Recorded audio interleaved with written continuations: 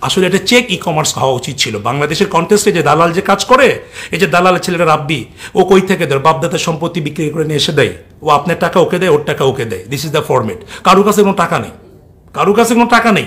আজকে বলেন যে আমরা অর্ডার দেবো না, দুই মাসে আপনি আমাদের ডেলিভারি করেন। দিতে পারে না। আলিশার মতো জায়েন্ট কোম্পানি আলিশা বলে যে আজ বিগ কোম্পানি ওরা তো ডেলিভারি আটকে গিয়েছে। টাকা নেই।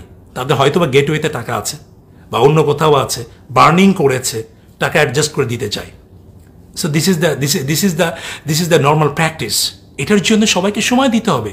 আলিশার গুড ইন্টেনশন আছে, সে তো সে তো দিতে চায়। রিপন সাহেবের গুড ইন্টেনশন সে তো দিতে চায়। আপনাদেরকে ব্রিদিং স্পেস দেন না।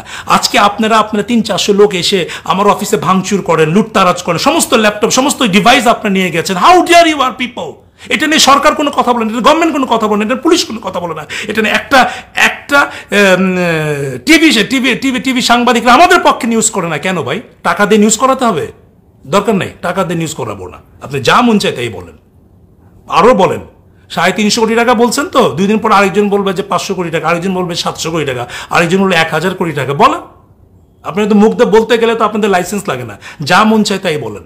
রিয়েলিটিটা কি? কোম্পানির পক্ষে তো কথা বলেন না। কোম্পানিগুলি যে কোম্পানি না থাকলে যে কাস্টমার থাকবে না কোম্পানি না থাকলে যে কাস্টমার তৈরি হবে না, সেটা তো বলেন না। কোম্পানি কি আসমান থেকে ভেসে আসছে? কোম্পানির ইনভেস্টমেন্ট আছে না? গুলশানের মতো জব্বার টাওয়ারে সাড়ে নয় হাজার স্কোয়ার ফিটে অফিস করতে পয়সা লাগে না? ল্যাপটপ কিনতে পয়সা লাগে না? আদার্স ডিভাইস কিনতে পয়সা লাগে না? এটা ইনভেস্টমেন্ট কই থেকে আসে? ইনভেস্টমেন্ট করেছি না? কই? একবারও তো আমাদের ইনভেস্টমেন্টের কথা বলেন না। আমাদের টাকা টাকা না? শুধু কাস্টমারদের টাকায় টাকা হ্যাঁ? শুধু কাস্টমার শুধু ভোক্তা ভোক্তা ভোক্তা।